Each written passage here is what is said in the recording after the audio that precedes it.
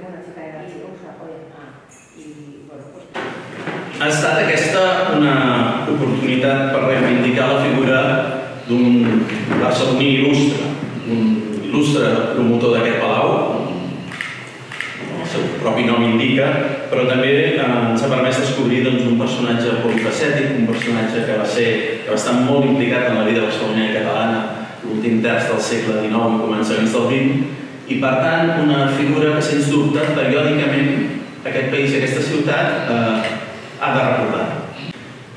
Güell tenia un risc, que era de ser la persona que quedava sempre no? a darrere o al costat de Gaudí. I em sembla que amb aquesta, amb aquesta commemoració del, del centenari, per uns quants mesos, o per un any, si em permeten, hem aconseguit una és molt difícil, és que avui passa per davant de Gaudí, no? perquè la potència de Gaudí és tan avassaladora i ha tingut una explosió eh, de popularitat i una explosió de, de reconeixement a escala mundial en els darrers decennis que realment ho feia difícil. No? Però és bo eh, recordar que Gaudí, sense Güell, eh, doncs probablement eh, no seria prou. Per tant, em sembla que aquesta és una, una cosa que val la pena que, que recordem. L'exposició, segons les dades que m'han passat, ha estat visitada fins ara no, per més de 140.000 persones. Si això hi afegim eh, les persones que han participat de concerts, de conferències i d'altres activitats que han configurat el, el conjunt de la commemoració del centenari, és evident que aquesta commemoració ha estat important, que ens ha d'omplir d'orgull. No? Eh, como mi nieta Lucía Güell Chicagotti y en nombre de toda la familia Güell, os doy las gracias a, primero a la Diputación de la Ciudad y a todos, especialmente al personal que desde toda esta temporada que hemos venido a muchas conferencias ha sido encantador, cariñoso, sensible, bueno, han sido todos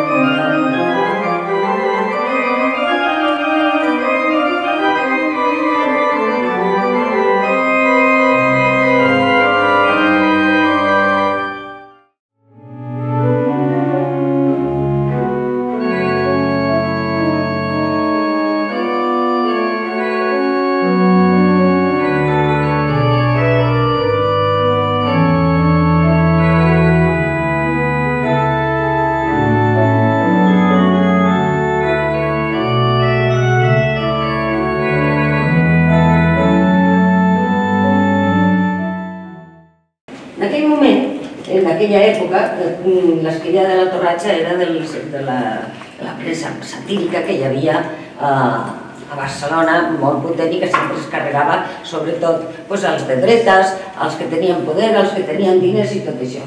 Però hi ha una cosa que nosaltres vam observar, que quan va morir Eusebi Güell, li van escriure una, un homenatge, una, una estela aquí, que justament anava eh, com en contra del que sempre feia l'esquella de la Torratxa.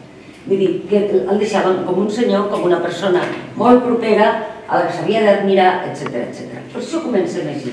La foto ja la coneixeu tots, però aquesta esquela és per tenir-la en compte. Y después vamos a las clases. Ya no tengo nada más que decirle. Expresiones a mi abuela, a mi tía, coma y tío, se le estaba olvidando.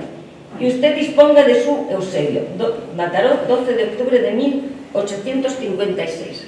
Crear la fábrica Aslan con cemento Portland era también un material que se tenía que importar de Inglaterra y que valía muchísimo más caro. ¿eh? O sea que Era vamos una novedad también, ¿verdad? Era una, era una novedad, Sí, pero, cuando se construía, no, aquí Sí. no se hacía, pero sí Sí. que se construían cosas. No cimientos, pero sí, por ejemplo, mm, depósitos de agua y de ese tipo más que nada. Cimientos, poca cosa. Se empezó más cuando aquí se fabricó, porque claro, salía muchísimo más barato. Eh, son libros de Eusebio Güell, por ejemplo, aquel francés científico que hablaba sobre aquellas, eh, sobre las bacterias, ¿eh? y bueno, un estudio muy interesante, ¿eh? no sé si lo habéis leído, pues un estudio, bueno, y el libro de, de Garraf con el, con el poema, eh, no, ¿cómo se llama? La, la ópera, la ópera de Garraf. Aquí tenemos unos cuantos eh, eh, ejemplares de la ópera Garraf Y luego tenemos unos cuantos ejemplares aquí de obras de las hijas. És interessantíssima. Mireu, qui sosté el Palauell amb tota la seva força, poderio, autoritat? Ell amb les seves cames.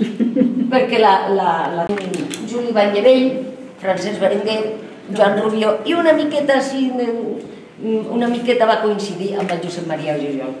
Què és això? Que, amb tots aquests noms que no, quan sortiu ja no us en recordareu, però què vull dir amb això? Què volíem dir amb, amb això? Que Seviguell va ser el precursor eh, i client del modernisme, que és com titulem el tros aquest. Precursor del modernisme i client del modernisme. És importantíssim que el pensem com un, un, un gran postor per lo que havia de ser la modernització de l'arquitectura. Penseu que fins a, fins a aquesta generació i les de després, l'arquitectura que hi havia era l'acadèmica, que ja estaven tipes d'ell, eh, que no volien veure allà perquè era repetitiva, no sé què, no sé quantos, i perquè cada generació vol fer el seu, no? pues ell va tenir l'olfacte No, que tu per la- treballar la amb tota aquesta que gent. nadie Aviam, deixa'm mirar, deixa'm mirar, deixa'm mirar, deixa'm mirar. Molt bé, eh? Molt bé. Molt bé, em mireu, sisplau. Perfecte. Ah, una mica de somriure, eh? Que estem aquí molt serios, eh? Molt bé. I la bona, eh? Ara sí que fem la bona.